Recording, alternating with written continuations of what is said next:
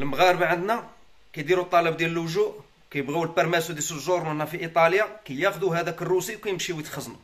ما كيديروا عمل تطوعي ما كيمشيو يقراو لغة ما كيقلبوا على خدمة ما كيندمجوا ما والو كيتسناو la commissione ولا اللجنة تعيط عليهم تقول لهم هاكو.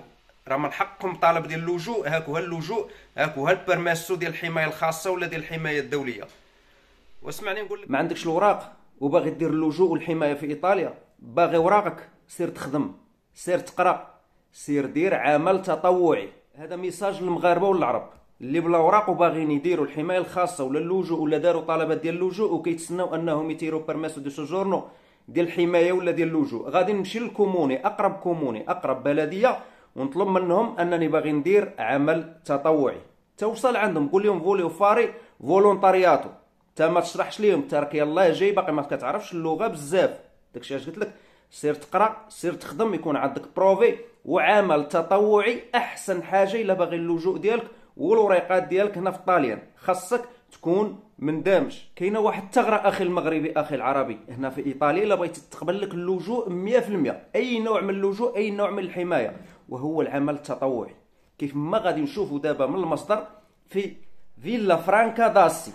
أستي كاينة في البيمونتي ما بين اليساندريا وطورينو عمده بلديه فيلا فرانكا داستي وافقات على مشروع تطوعي ل 28 مهاجر طالبي اللجوء 28 مهاجر في مراكز الايواء في centro accoglienza هذا المشروع هذا اللي هو مشروع تطوعي باتفاقيه من طبيعه الحال ما بين البلديه وجمعيات هاد المهاجرين هادو يقوموا بالعمل التطوعي وهما طالبي اللجوء حمايه ولجوء بانواعه غادي تقبل لهم إن شاء الله اللجوء لأن العمل التطوعي كيف ما جا مكتوب سيعزز جانب التكامل والاندماج. وغادي نقرأ لكم أشنو المشروع ديال هذه البلدية هذه والثغرة اللي كاينة باش يتقبل لك اللجوء 100% هنا في إيطاليا.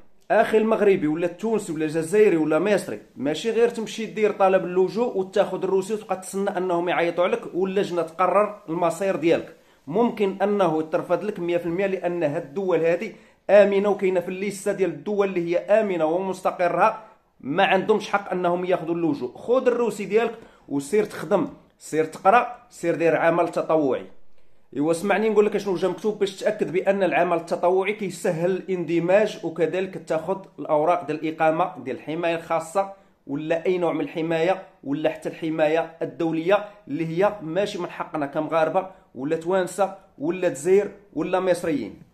اللجوء والاندماج من خلال العمل التطوعي في فيلا فرانكا داسي وافقت البلدية على مشروع تطوعي للمهاجرين في مركز الاستقبال. ستسمح الاتفاقية المبرمة بين البلدية والتعاونية الاجتماعية ل 28 مهاجر يطلبون اللجوء بالمشاركة في مبادرات اجتماعية. وأوضحت عمدة المدينة أن العمل التطوعي الذي سيقومون به سيساعدهم على التعرف على المنطقة وعلى تكوين علاقة أوثق مع السكان. سيتم توظيف طالبي اللجوء في صيانة المناطق الخضراء. غادي يخدموا بصيانة المناطق الخضراء وغيرها من الأماكن العامة. سيتم تنسيق هذه الأعمال من قبل البلدية ويمكن تنفيذها إما بشكل فردي أو في مجموعات ممكن تبوحدك أو في مجموعة.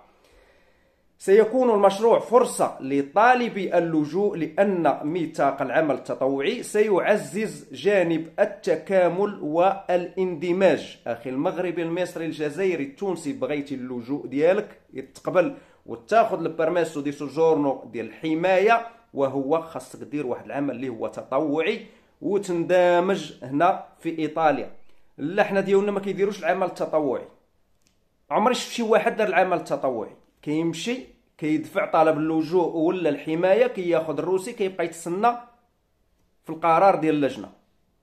واش بالرفض ولا بالقبول؟ أكيد الرفض. وغادي دير ricorso وغادي دير الطعن سير دير عمل تطوعي باش يعرفوك أنك مندمج ويعطيوك رخصة الإقامة ديالك.